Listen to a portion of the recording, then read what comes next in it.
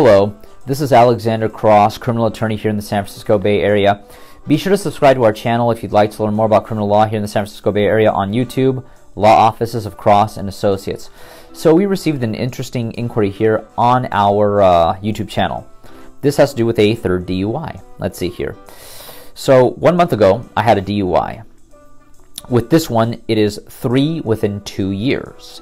Can I cut a deal with the DA to resolve my case? Well, yeah, absolutely. You can. You can always. You can almost always. Not always, but you can almost always cut a deal with the DA's office to resolve your case. Now, let's talk about that third DUI. First of all, if you have three DUI convictions within a 10-year period, you're looking at a maximum jail sentence, provided that you didn't hurt anybody you're looking at a maximum sentence of up to one years in county jail with a minimum sentence of four months in the county jail. That means that if the DA is your best friend, well, he should probably recuse himself. But but let's say hypothetically somebody you knew from school or whatever, the the best that he could do, the the best that you could get out of him would be four months. Cannot get less than that. Now, if it's very clear that you were over the limit, you were driving badly. They have all the evidence, probable cause, the arrest was valid, the test was valid, you know, all the bells and whistles, CHP did their job. In a situation like that, it would be necessary to talk to the DA to see about seeking any potential alternatives, any potential alternatives to having to serve at least that minimum of four months in the county jail.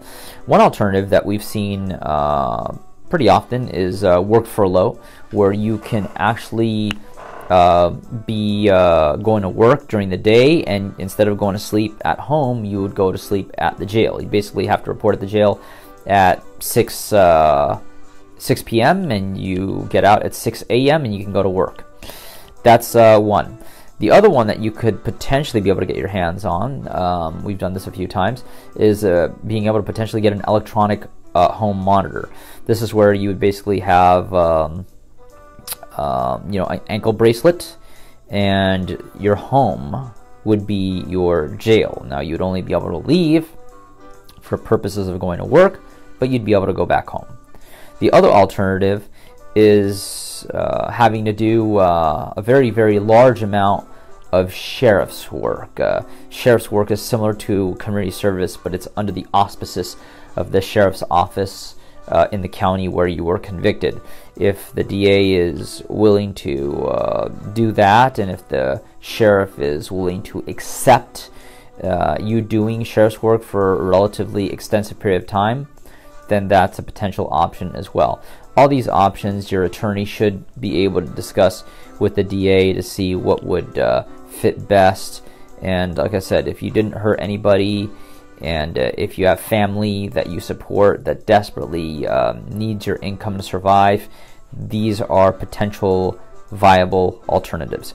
Regardless, if you'd like to learn more about criminal law here in the San Francisco Bay Area, be sure to subscribe to our channel, Law Offices of Cross and Associates. But if you've been accused of a crime and need representation in court, be sure to give us a call at 1 800 862 7677. Once again, 1 800 862 7677. See you soon.